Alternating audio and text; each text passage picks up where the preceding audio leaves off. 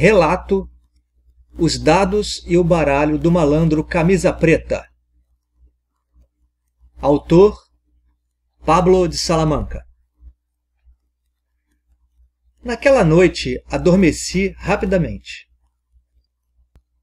Em certo momento, provavelmente já de madrugada, eu estava fora do corpo físico, dentro do que parecia ser um prédio antigo.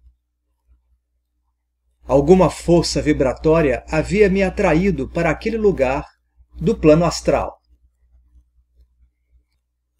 O interior da construção lembrava edifícios comerciais dos anos 70 do século passado. À minha frente havia um elevador com aquele modelo de porta pantográfica muito comum em equipamentos antigos que acabara de abrir-se. Senti um impulso automático de entrar e fui acompanhado por um homem que não notara até aquele momento. Dentro do elevador, a sós com aquela pessoa, percebi que era um senhor com idade aparente próxima aos 60 anos, pele clara e cerca de 1,65m de estatura, ou seja, um pouco mais baixo do que eu, que tenho 1,69m. Ele puxou conversa e comentou que já havia sofrido com problemas no estômago. Entretanto, tudo havia melhorado quando um médico o aconselhara a comer mamão com frequência. Achei interessante o assunto que ele havia abordado comigo, espontaneamente, porque volta e meia, em minha jornada física, eu tinha problemas digestivos. Contudo, não pude refletir muito, pois aquele senhor voltou a falar, só que sobre assuntos diversos e de forma muito acelerada. Em poucos segundos, eu não era capaz de compreender mais nada. Ele estava mais veloz do que um locutor esportivo. Além disso, logo ele começou a cuspir inúmeros dados vermelhos. Não consegui contar quantos saíram de sua boca.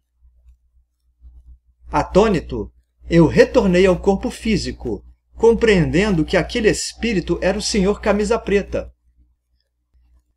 A entidade que, em época recente, havia se apresentado como o representante da linha dos malandros, que atuaria pela minha mediunidade, queria me passar alguma mensagem. A partir daquele despertar, em plena madrugada, voltei a dormir, mas acordando frequentemente, tentando entender o que ele desejava me passar, que, em verdade, era como utilizar os dados como oráculo e fonte de orientação. Também reparei que estava me transmitindo como jogar com um baralho comum para orientar pessoas. Através daquele contato intermitente, durante o descanso do meu corpo físico, entendi apenas parcialmente como utilizar os dados e o baralho.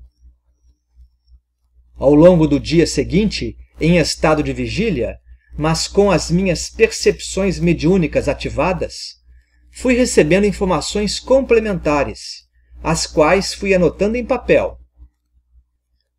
No final da tarde, os fundamentos de como jogar os dados, em número de dois, bem como o baralho, com apenas 32 cartas selecionadas, estavam em ajuste e devidamente registrados. Depois, nos dias subsequentes, ele me explicou intuitivamente como seria a mesa de jogo, com os utensílios e acessórios requeridos. Desde então, tenho jogado para amigos e médiums próximos, tendo notado o quanto tem sido útil para essas pessoas em assuntos diversos. Agradeço o aprendizado ao Sr. Camisa Preta e a oportunidade em servir ao próximo sob o seu amparo. Salve a malandragem!